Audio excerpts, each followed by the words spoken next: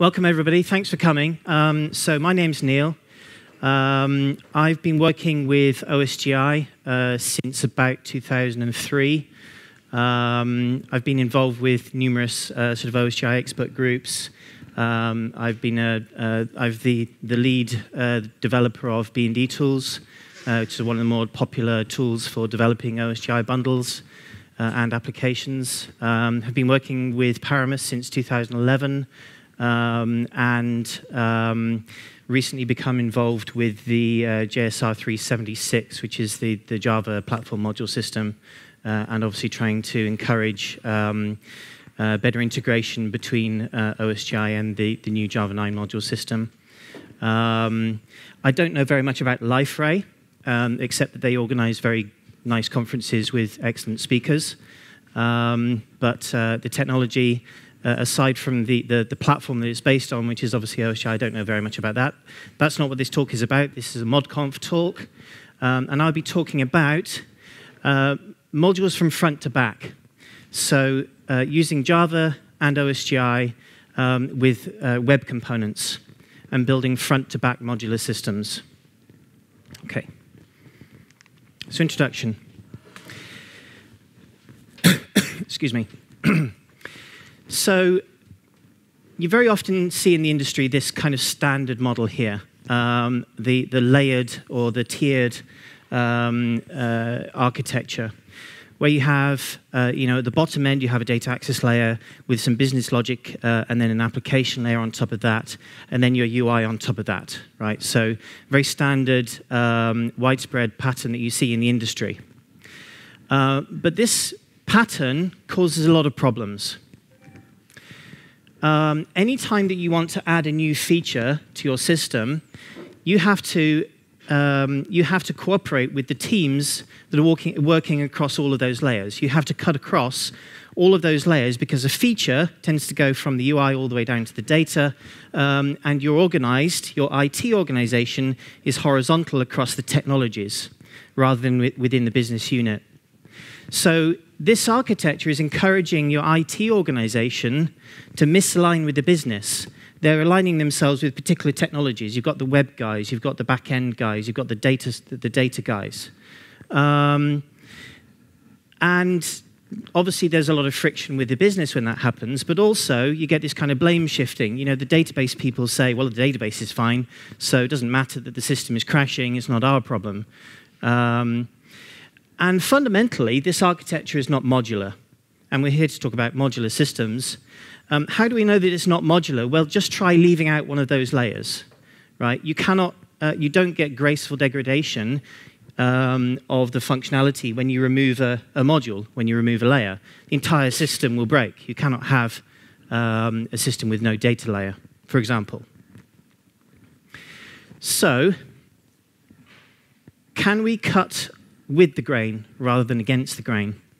Can we take our systems and instead of decomposing them horizontally, can we decompose them vertically? So we have vertical systems for you know typical business areas, inventory, billing, shipping, and so on. And these business areas, they have the entire stack from UI all the way down to data access within, that within each of those vertical slices of functionality. The benefits of this, well, you're aligning your IT with the business, first of all, um, and that, that tends to get your IT people working a lot better with the business people and the sponsors and getting better results. You can also add new features without co coordinating across multiple teams. Um, and finally, this is modular. This is a modular system because you can actually take one of those slices out um, or, or, add new features or evolve those, those features independently. Um,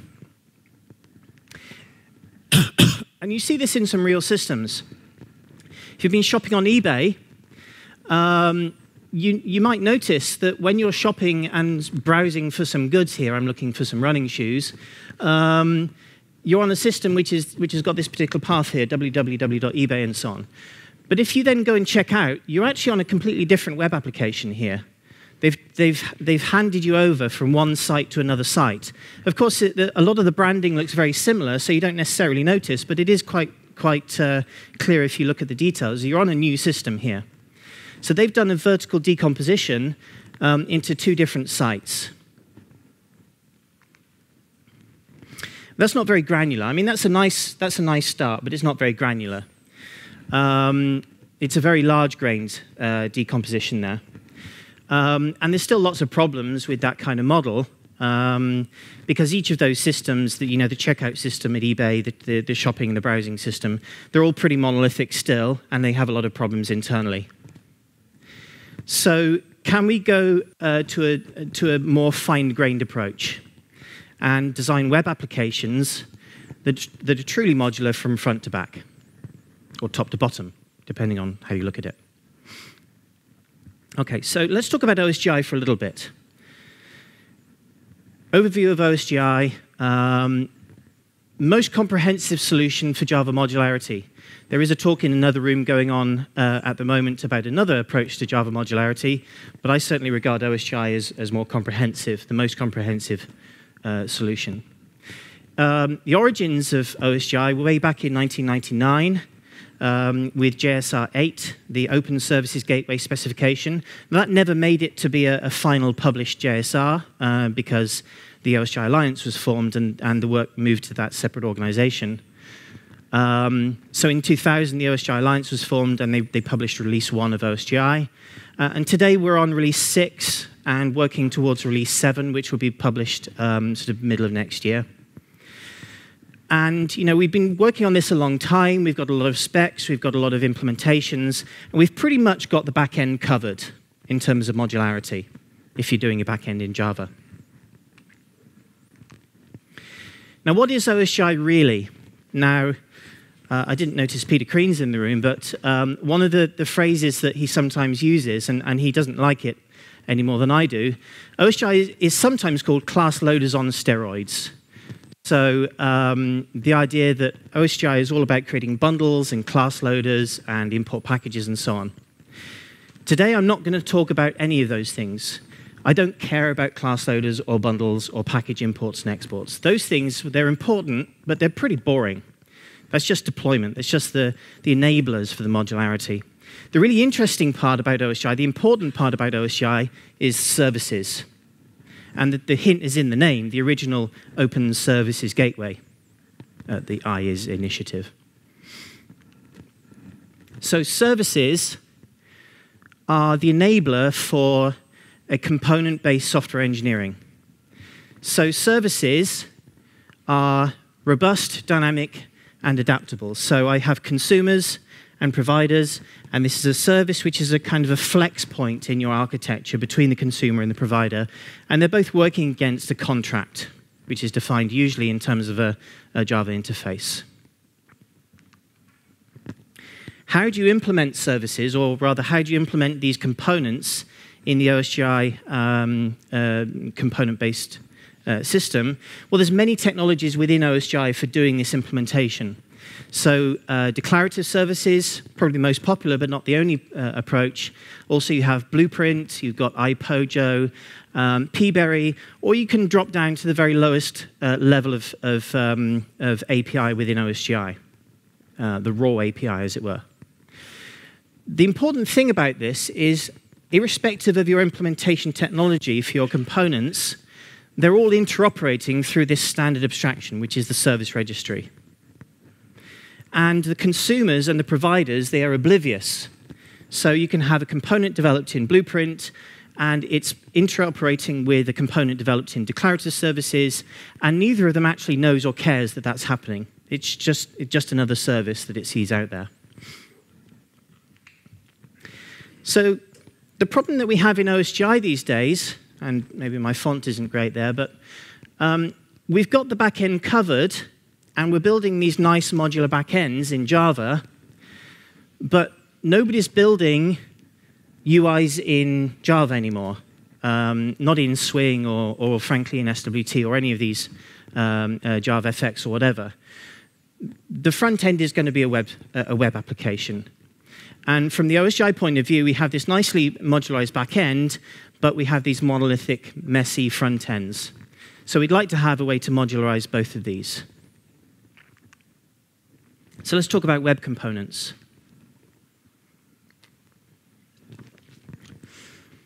So, what are web components? Well, these are a, a relatively new um, family of specifications and features that are being added to HTML and the DOM. And the aim of web components is to add the concept of component based software engineering to the web. Um, the key features that, that comprise web components are custom elements, uh, and this is the ability literally to define your own element. So, you know, you probably know all of the standard elements like select and, uh, and input and so on. Um, you can, uh, using the custom element specification, you can define your own uh, custom elements um, that extend from span. Um, Shadow DOM, um, a, a, way of creating a DOM behind the custom element that is disconnected from the main DOM. HTML um, imports, so just a new way of, uh, of, of, depending on assets in your, your web system, uh, and HTML templates. So the key point, the key idea here is that you're taking a bunch of components and you're assembling a web application from those components. So a truly modular approach to developing web applications. Here's an example so um, there's this component here which is called gold CC input, and this comes from Google's Polymer collection of, um, of components. Um, and it's designed for credit card input. And it does the basic, um, uh, what's it, the checksum um, on the um, uh, the checksum on the digits to make sure that you've entered a valid um, credit card number, um, and it also works out what type of credit card it is and displays the, the little icon as you're typing it in. So that's a, um, a custom element, gold CC input. A custom element must always contain a dash in it somewhere. That's how the browser knows that it's a custom element versus a, a built-in one. How do you implement web components? Well, a web component, there's many ways you can build one. There's a bunch of these implementation technologies out there um, there's Polymer from Google. Um, there's Bosonic. There's Xtag, which is, I think, owned by Microsoft these days. Um, there's Mozilla Bricks. Or you can use the, the raw API. You can drop down to the, the lowest level of API, also called uh, vanilla JavaScript. But irrespective of which of these technologies you use to implement components, they can still interoperate with each other through a standardized abstraction. Now, this is starting to sound familiar, or I hope it is. So the point of this is we can take components from multiple different sources and compose them together. So a, a, web component can be composed of multiple smaller web components and so on. And we don't really care about the implementation technology of each of those components. Now, a problem with the, the web components that you can download from, let's say, Polymer or, um, or any of these, these uh, element catalogs is they all tend to be pretty tiny in terms of um, the scope of what they address. So little tiny UI widgets, uh, well, not necessarily tiny in terms of size. A, a, carousel may fill the whole page, but you, you can have a carousel. You've got things like credit card capture, as I showed there, address capture, charts, and so on. Um, if you want to develop larger components, richer components, that make up a more significant part of your application, then they're going to need back-end integration. They're going to need data. So, how do we ensure that both front end and back end components are always deployed together? Because if you have a front end component that needs to talk to a back end component, but it's just not there, um, you're going to get strange network errors. Okay, let's talk about application assembly. Incidentally, I should have said that the format for this is I'll be doing some talking for a bit, and then we'll go on to the, the exercises sort of in the second half of the, uh, of the talk. So, application assembly. In OSGI, we assemble applications by um, putting all of the components, all of the bundles that contain the components, remember a bundle is just a shipping mechanism for components, um, into an OSGI framework, and the application just comes, kind of emerges from that. Uh, you know, those components, they start to wire up, they detect services, they produce effects and so on, and the application emerges from that. Um, but how do we create the application that we actually want to see? It's kind of like cooking. You've got to throw in all the right ingredients to get your stew, but which ingredients do you throw in and which ingredients do you not want to put in there. Um, the problem is that not all the bundles are, are particularly interesting. A, a, large application can contain a lot of bundles. I mean, Eclipse, uh, Eclipse is an extreme example, but it can contain sort of thousands of, of bundles. And you don't want to have to, to write um, huge lists of these bundles that go into your application and maintain all the versions of those and so on. So in any application assembly, you have a very small number of bundles that you actually care about. You know, your checkout and your shipping bundles. And then you have a large number of bundles that you don't care about at all, except the fact that you need them. Right, so they have to be there, they're important, but you don't really want to have to manually manage all of these things, the data access layer, the, the logging system, the config, and all that kind of stuff. They have to be there and you need to make sure that they're there, but you don't want to keep track of all of those um, manually. You just want to keep track of the things you care about. So we want to use some system of dependency resolution. We want to take those things at the top level that we care about and get a dependency resolution system that will give us a big list of all the things that we need. If this is what I want, these are the things you have to have in order to get what you want. And there are existing tools that do this, tools like Maven uh, in the Java world, uh, NPM, Bower, and so on. The problem is these tools are bad. They're really bad. They do a bad job of producing um, sets of dependencies for a system. Um, and the main reason for this is that they use identity for dependencies. I think Ray talked a bit about this in his talk.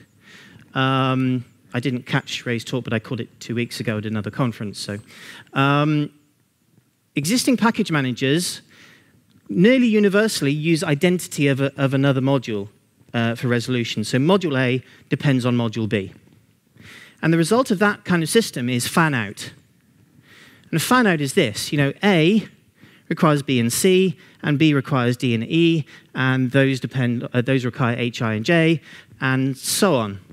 And you have this, just by installing A, you have a very wide fan out, and you have to have all of these bundles installed. And this results in the typical effect with Maven. The first time you run it to build a, little two line uh, Java application, it has to download the entire internet, or it certainly feels like that. The other problem is conflicts. So a very common problem when you're, you're trying to create a, a, you know, assemble an application using something like Maven is you're going to end up with multiple versions of the same library, particularly these commonly used things like SLF4J or Guava. Um, and in a traditional Java application, you simply cannot have both version 162 and 174 of SLF4J. It's not possible. In OSGI, it's possible, but it's still not desirable. So that's a bad problem with these package managers.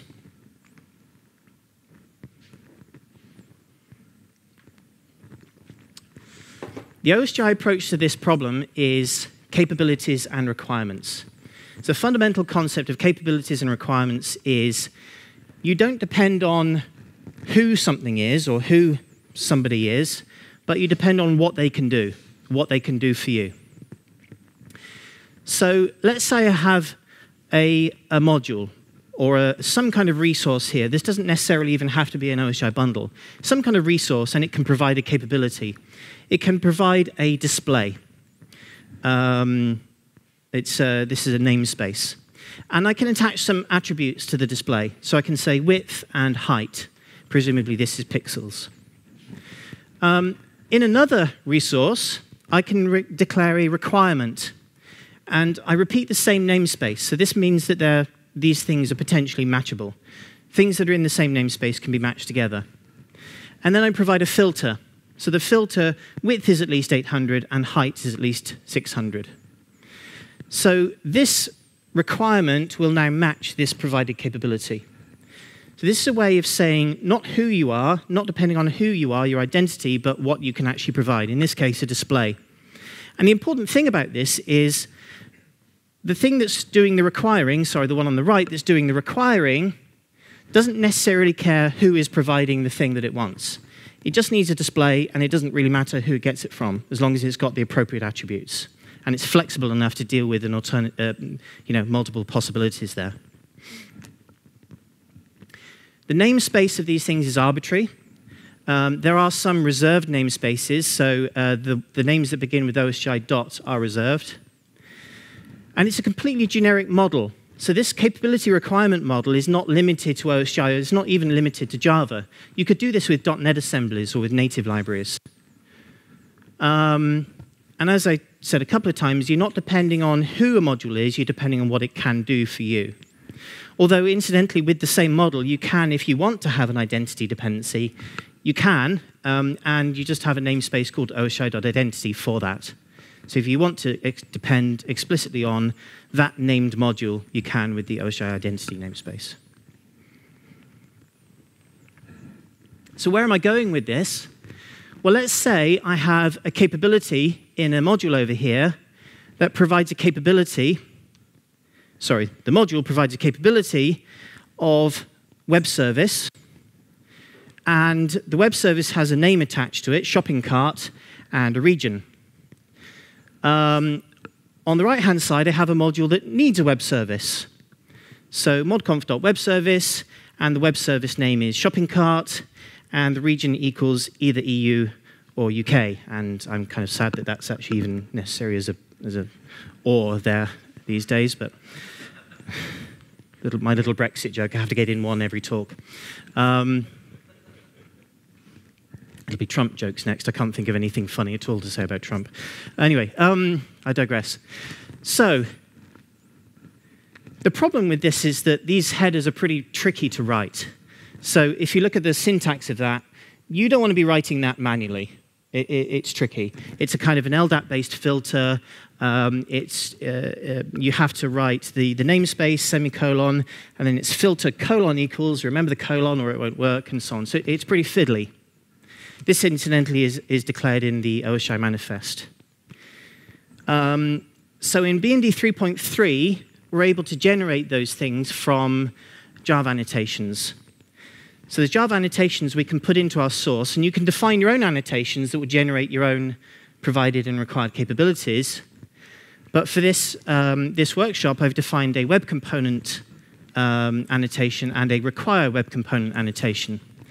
So if I'm defining web component in a class called cart component here, um, with a name, and then somewhere else in my shopping component, which will require the cart component, um, I have that annotation, then BND is going to generate all these headers, and it's going to enable us to do a, a, an assembly of web application using the BND resolver. Some final pieces to put this into a whole, um, into a whole working system.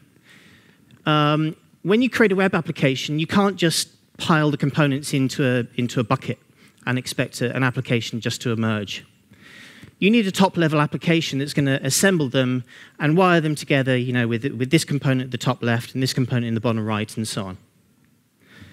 Um, so you would write some kind of shop application here, um, and you can have multiple requires. So you pull together all of the requires there um, for the web components that make up your application.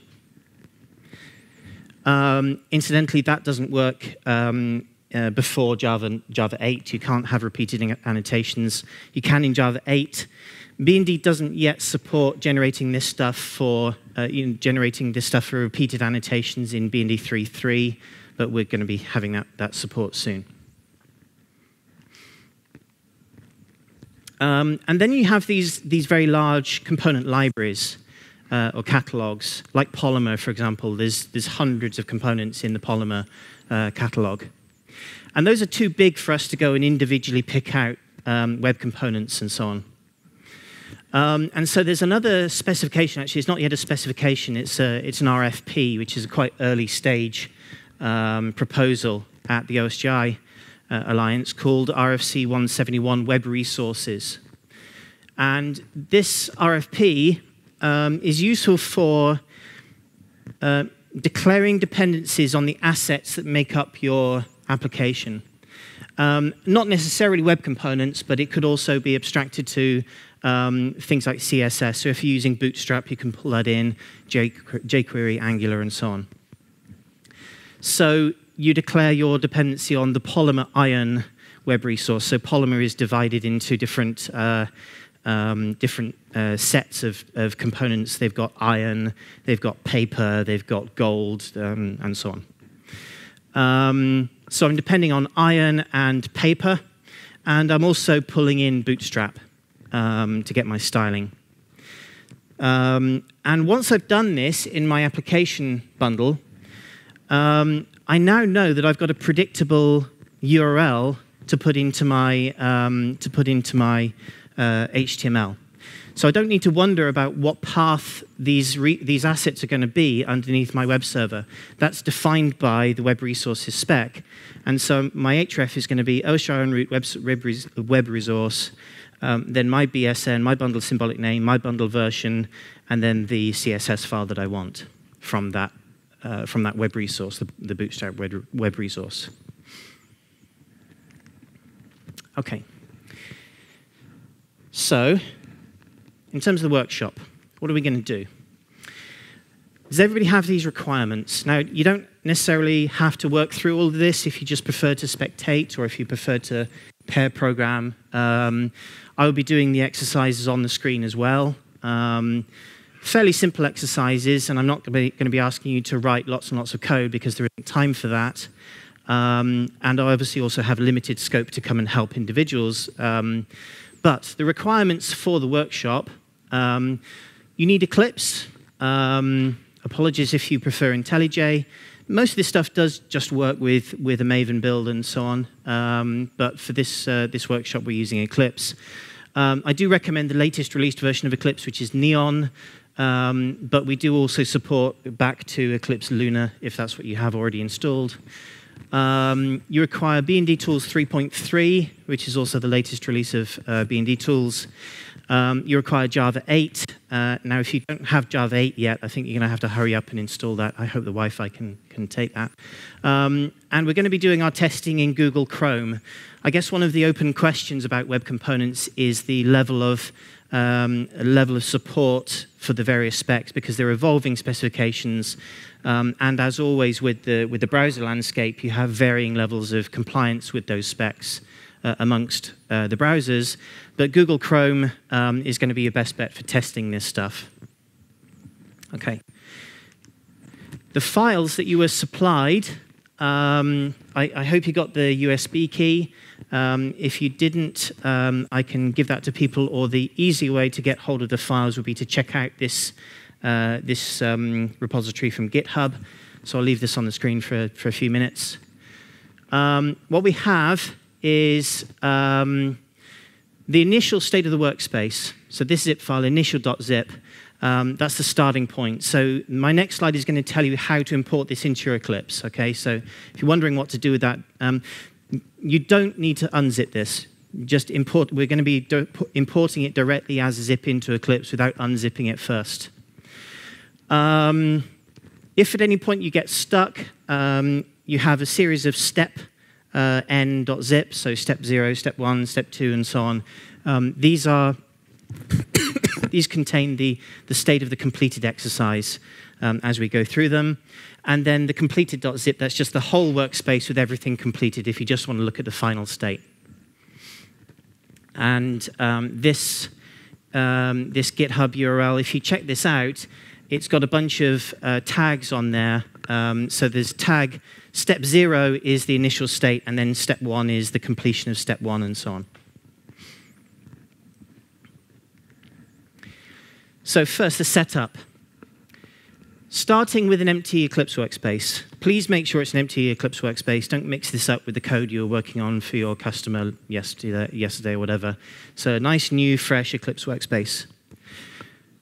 We're going to go to the File menu, Import General Existing Projects, and then within the dialog, we're going to select Archive. Now, this is the bit that most people um, are not that familiar with, so I'll show you what I mean. So I'm going to say File, Import, Existing Projects, and then you click on this, um, uh, this radio button here, select Archive File, and you browse for the initial.zip. Um, if I open that, I think it's in my Dropbox. Yes, it is. Uh, initial.zip. and it comes up with the, uh, the projects to import. Now, I can't import them because I've already got them in my workspace, but you will see these projects and you click Finish. Okay? Just leave this up on the screen for a minute. So select Archive, browse for initial.zip, um, ins ensure all of the projects are checked, and then click Finish. And you should see the, the projects get imported into Eclipse. Now, what we're going to do is we're going to immediately run what we've got before we start doing any work. And so you're going to open up this file called um, polymer underscore bookstore.bnd run, which is in the org example web app.bookstore. Um, so open up that BND run file. That's a, a, BND run descriptor. I think you've probably seen this editor a few times in, in the other talks that have been going on. Um, in this case, you don't need to resolve. It's already pre-resolved, but you could do a, a resolve operation and then you run. Resolve, by the way, means uh, click resolve, you get a dialog, you click finish, and then you click uh, run. Okay. So do a resolve and a run, and then once that's running, you go to Chrome, open up localhost colon 8080. Right. So leave that on the screen for a minute, and then I'll show uh, on my screen how this is going. Any questions, problems? Yeah. Uh, it should have been, there were USB keys that were distributed around. Uh, if you don't have that, uh, do you want to do a Git checkout? You're familiar with Git? Uh,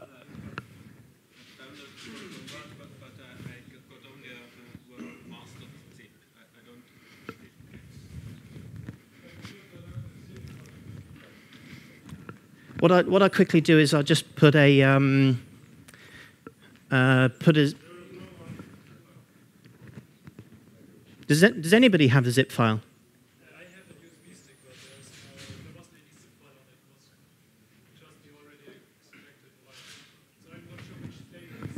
Okay. I didn't ask them to extract it. I should have said explicitly to them, don't extract it. Okay. Um, uh, oh boy. Okay, I recommend then um, do the git checkout. So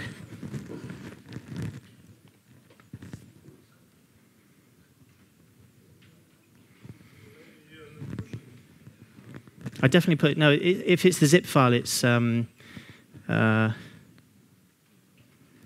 yeah okay. What you would do.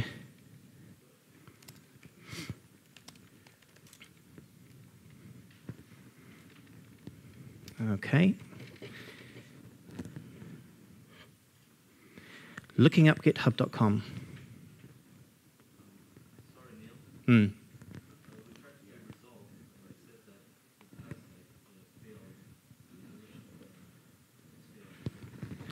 I'll come and have a look. Um, so how did you get the zip file? You didn't? Did you import the projects directly from the file? Oh, you you uh, you checked out from Git.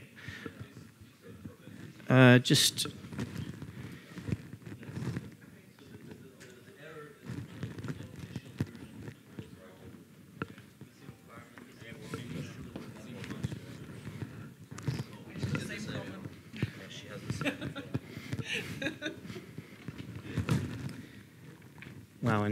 and errors everywhere. Okay, so the import is not. Yeah. Uh, Uh, this, this was not good. from Gi- uh, GitHub.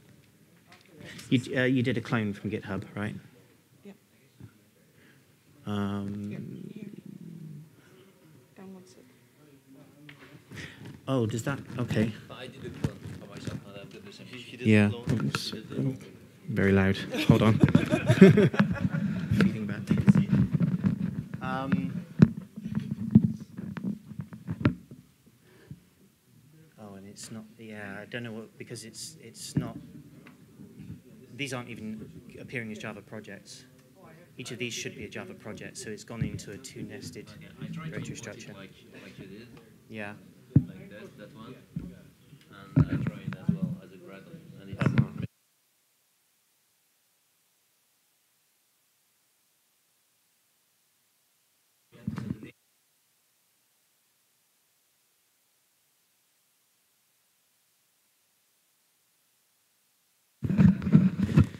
Okay, pretty major technical hitch then that the uh, the the USB key didn't contain the zip file that it was supposed to contain. Uh, I tell, what I can do is I can put it onto my own USB key and pass that round. Hopefully, some people can sort of copy it. Um, probably, we're not going to be able to do that much in terms of a workshop. Hopefully, some people uh, can get that done. Um, I'll quickly do that, start passing that round, and then just work mostly off my own screen. I have to apologize for that. Yes. Well, it is on Git. So you just you just git clone. Let me do that. Let me do that. So git, but it, I can't go to GitHub.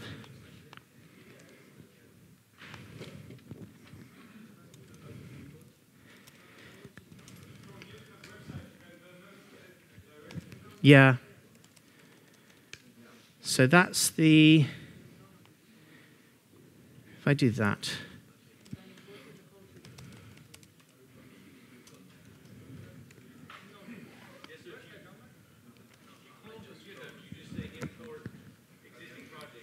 Yeah.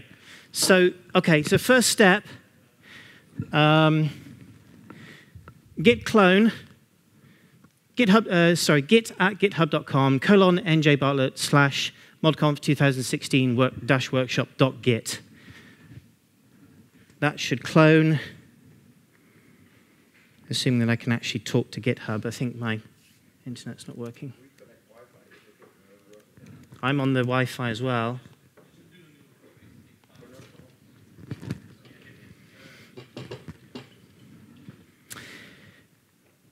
Okay, okay, that's working now. So after the checkout, what you should be able to do, uh, so modconf 2. So after you've cloned that URL, and I'll put that back up on the screen in a minute, um, you should then do file, import, existing, existing projects. So go to uh, projects, ModConf 2016 workshop, like that. I'm sorry? No, it isn't. I'm going to have to rewind that, but I can do the import first, and that'll that'll be work, that'll work fine. So that if I just say uh, git checkout minus b lab based on step zero zero. Oh, I need to be in it. Okay, so I'm now at step zero. So the steps to repeat would be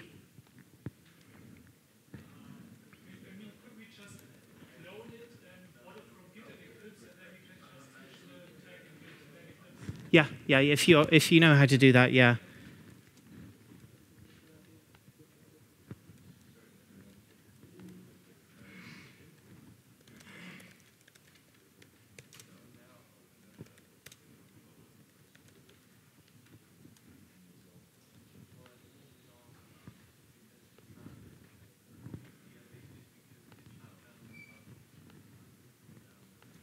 Okay. I'll leave that up. Um, it's unlikely we're going to get as good progress as I'd hoped for. Um, so I'm going to try to carry on on my screen um, despite everything and see how we do. So hopefully you can follow along by, by watching what we're doing. And you can, you can always come back to this after the, uh, the presentation.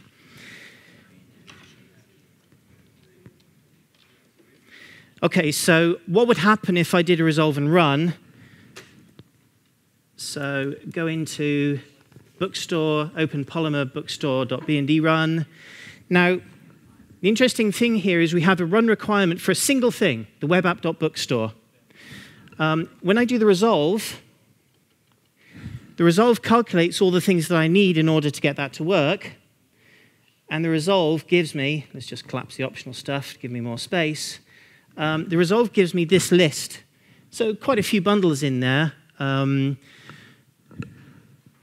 uh, except uh, I need to F5 because I'm still on the... I'll tell you what, I'll go back to this workspace because this was the one I prepared. So coming into um, bookstore BND run, do the resolve. I'm only asking for the bookstore. I get a bunch of things like Jetty, Servlet API log. Um, there's my bundle I asked for, Web App Bookstore. I'm getting events and all that kind of stuff. But um, I'm going to get a functional application simply by listing a single bundle. Okay, so save that, run that. It's because the workspace, there's no workspace there. There's no BND workspace, so it's got no idea about any of these dependencies. I I'm, I'm willing to look at people's workspaces after if, if you want to come to me and, and show me what you've got, and I'll try to help you get it working. Um, but I don't have time during the main talk now to, to help. Sorry about that. Um, so it's running, and if I go to Chrome, load this web page, um, so OSGI route is giving me this index page and tells me there's one application available, and I go into that application and I get that, which is pretty basic and, and boring. we're going to start adding to this. So coming into here, what's the next exercise? We're going to take um, the cart servlet, which is in the, um, the vanilla directory, webconf.cart vanilla, um, this is a web component implemented in vanilla JavaScript. Um, and in this cart servlet, we're going to add web component with the name cart list. So just to make things quicker, I will copy paste that. Oops. Now, what do we have here? So in the cart vanilla project, we have, first of all, a servlet. So this servlet here, now I guess I could have used something a bit trendier than a servlet. You could have used, I could have used some of the JAX-RS stuff, um, but servlets still work. Um, I have a servlet component and it's providing a kind of a, a, REST API. I'm building up the JSON by hand. I know it's, it's yucky, but it, it does work.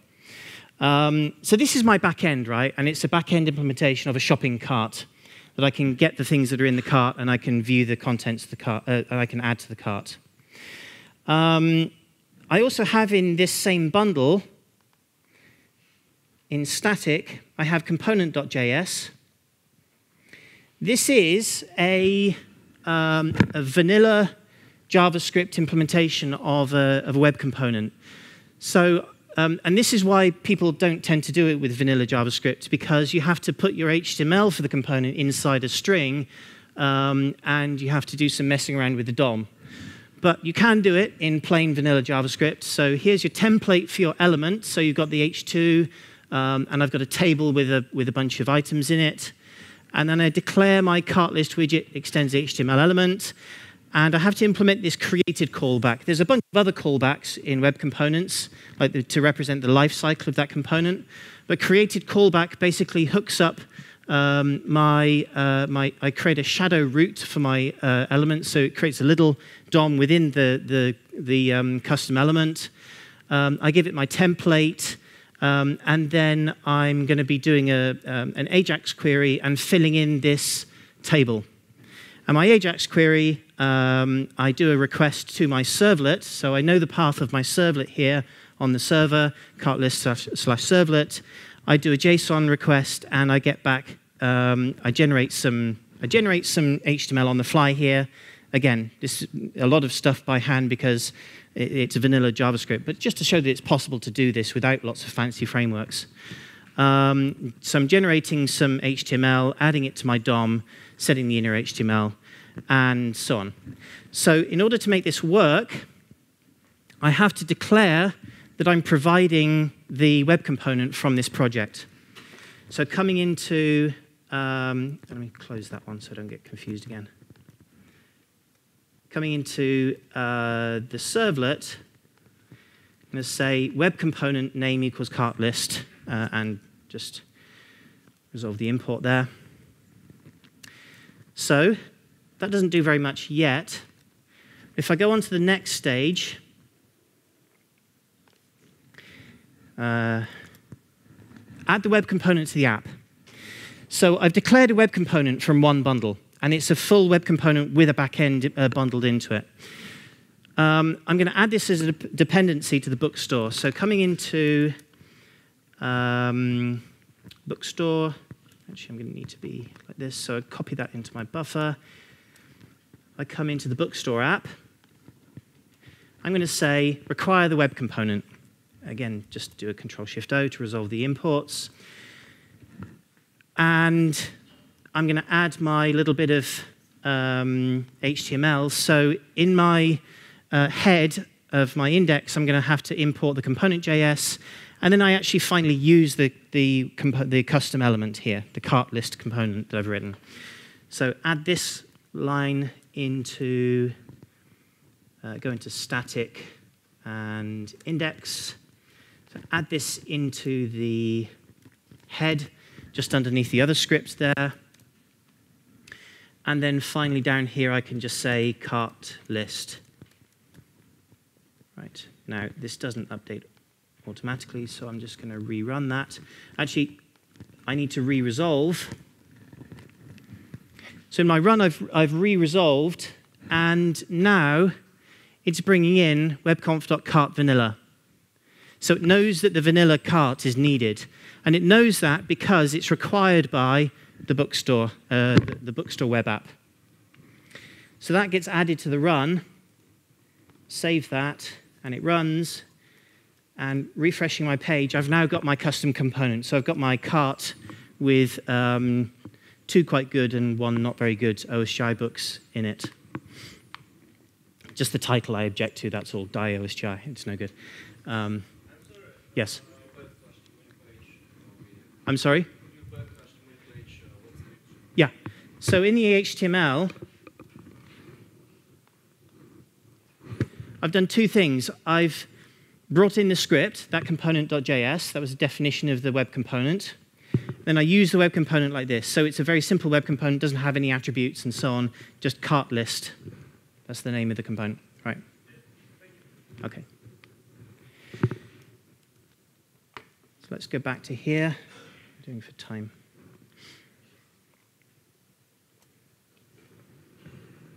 Is anybody got anywhere with their own workspace, or is it, uh, am I just completely hosed here? I take that as uh, the latter. Okay. Okay. Now, what if we want to use some third-party components? I talked about um, these off-the-shelf component libraries like um, Polymer. So in my application, I'm going to use two bits of Polymer. Uh, I'm going to use the Iron um, uh, web resource, and I'm going to use the app um, elements. Um, so again, these are just subcategories within Polymer.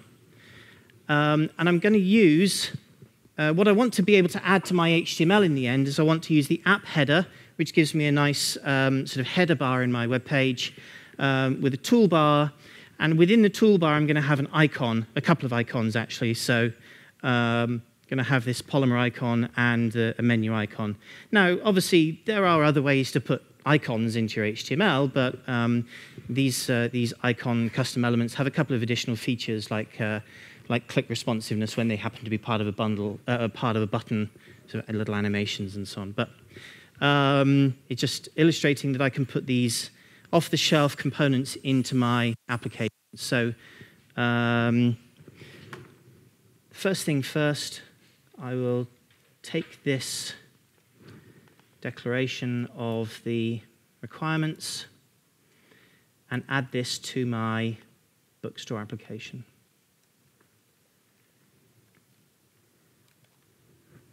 So these annotations have been defined in another project, and they say, I depend on the Polymer Iron web resources. And there's another bundle which is providing the Polymer Iron web resources um, along with the capability for that. And the resource equals that tells us which resources within there that we're actually interested in. So we're pulling in that. And we have to just add the, um, the links to pull in the HTML files. So this is another um, spec within the uh, Web Components family. Um, it's not as essential as uh, custom elements, but this is HTML imports. So rather than importing um, JavaScript with the script tag, I'm importing um, HTML directly into this HTML. Something that's never really existed before in HTML, this, this kind of way to import other HTML files. Um, so rel equals import, that's the new thing here.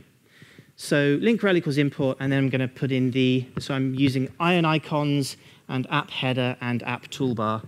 So again, I'm going to use a little bit of cut and paste here, which I know is cheating. Copy paste that.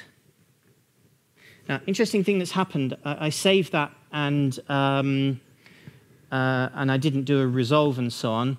Notice I'm getting errors. So OSGI is now complaining that my bookstore is invalid. It can't resolve the bookstore because of an unresolved requirement, the required capability for the web resource with blah, and then the filter tells me what it's missing, the, um, uh, the Polymer app web resource. Now, that's missing uh, because I haven't added the Polymer app resource into the, uh, the bundle runtime, uh, into the OSGI framework, because I didn't do a resolve. I'm going to add those bits of HTML.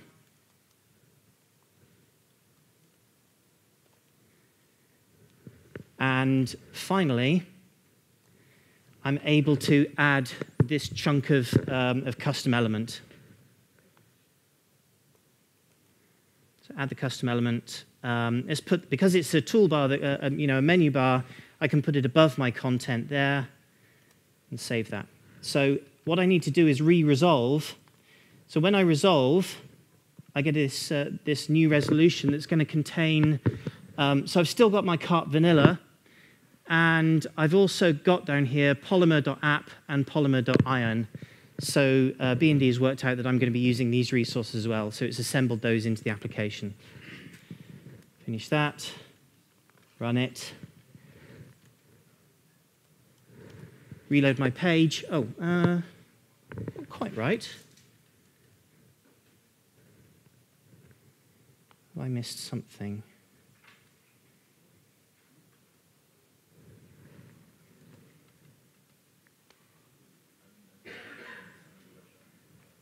Uh, something's not quite right, but I'm not sure. It's not, not formatted the way I'd expect, but it's kind of basically working. Um, I think it's maybe just the, the, the size of the screen. No, it's not. Anyway, um, so it's pulled in the uh, it's pulled in those components from a standard library. Okay.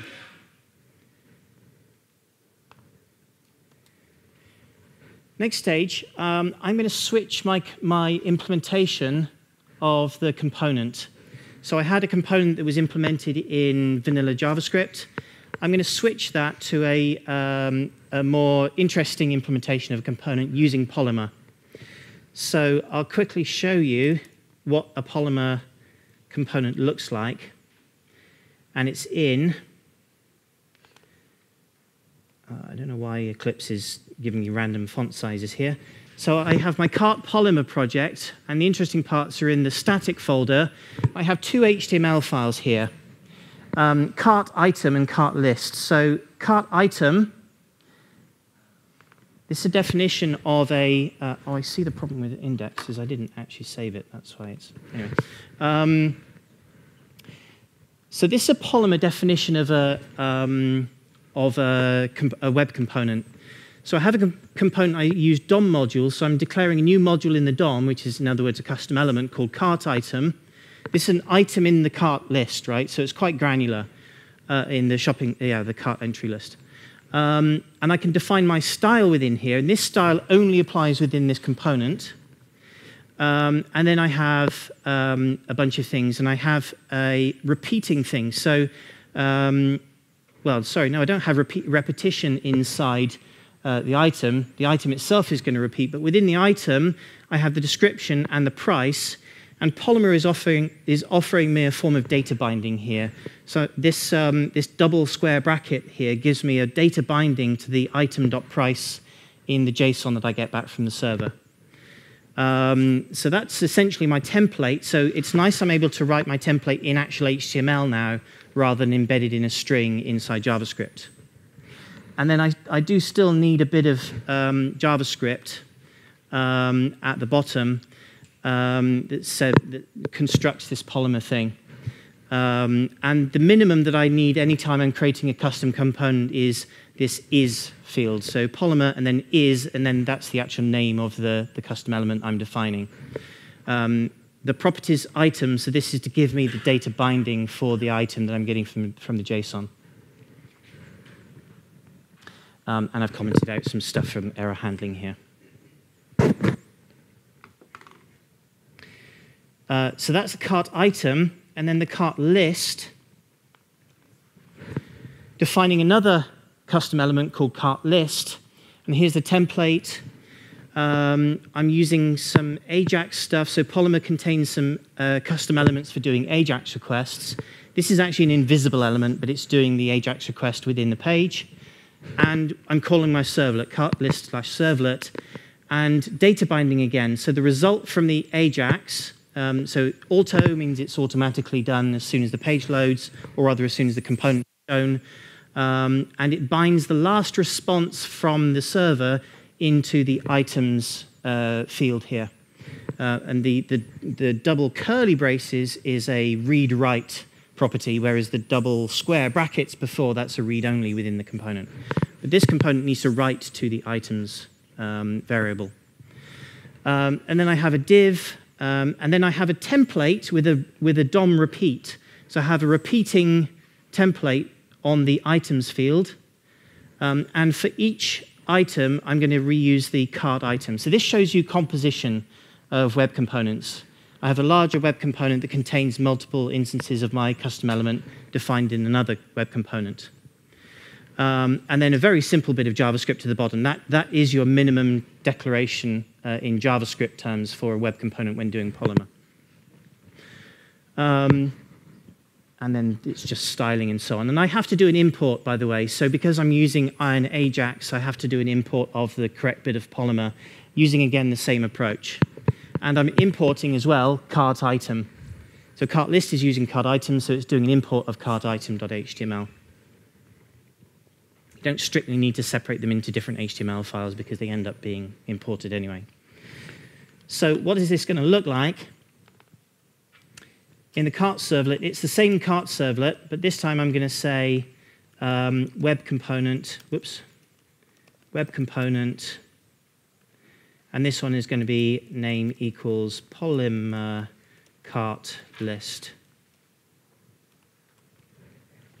Right.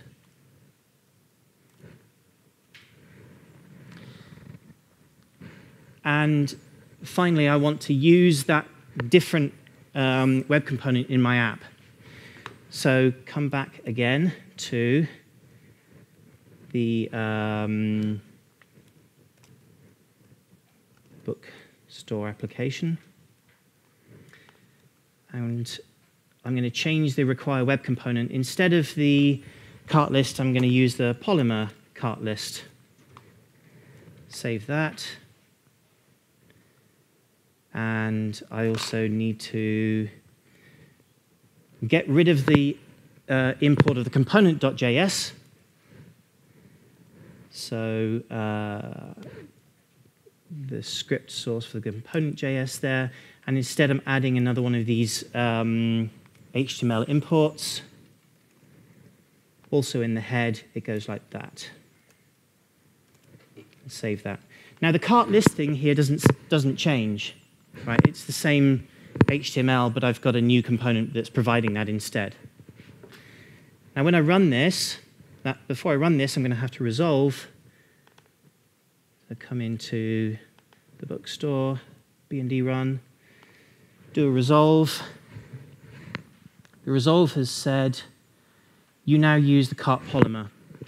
So cart polymer is being pulled in because my bookstore now depends on that. So you see that the application is uh, or sorry, the tool is assembling my application um, using my dependencies that are, that are between the requirements and capabilities there.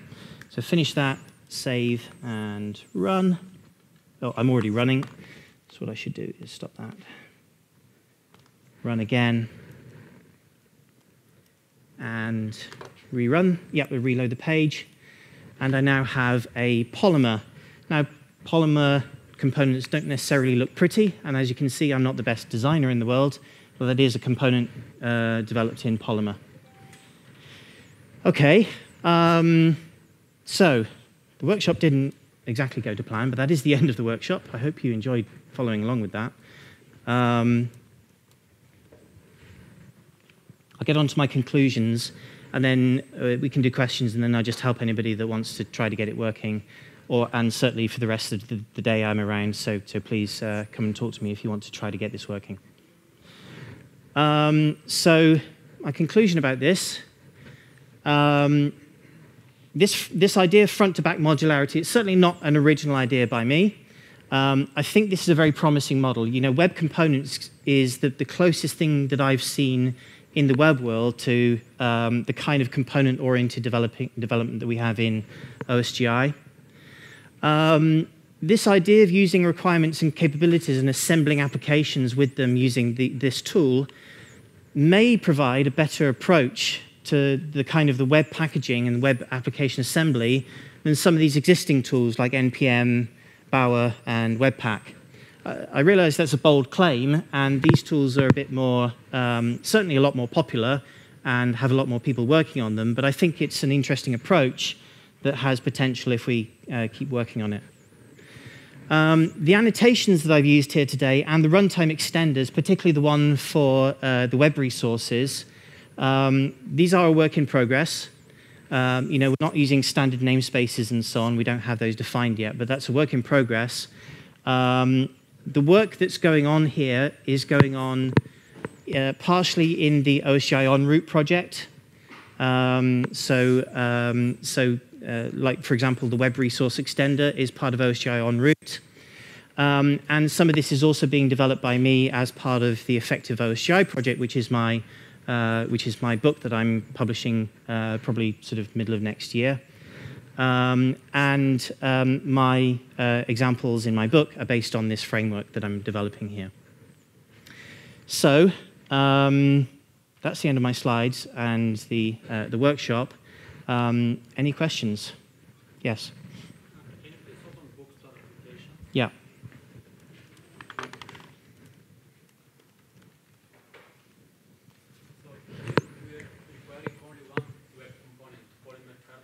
Yes.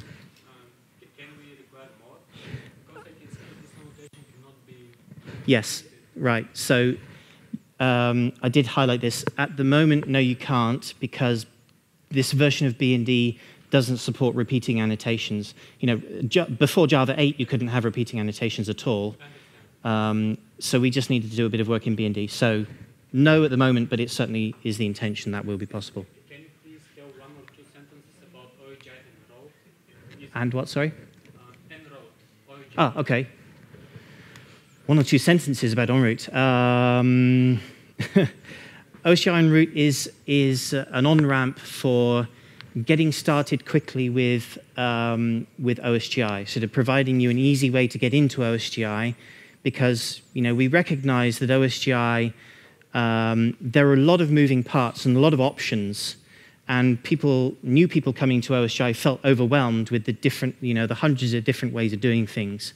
And OSGI is, is, um, is a project that aims to give you a way to, a simple way to get a simple application started and then start building on it. Examples, examples, but, but things you can actually put in production. You know, you start with that and then you build on it and you do actually have a real system at the end. But it's not part of the OSGI specification? Is, uh, it's, it's an official OSGI project but it's not a specification, although it is generating some specifications. For example, the web resource stuff, that is going to generate uh, an OSGI specification at the end of the day.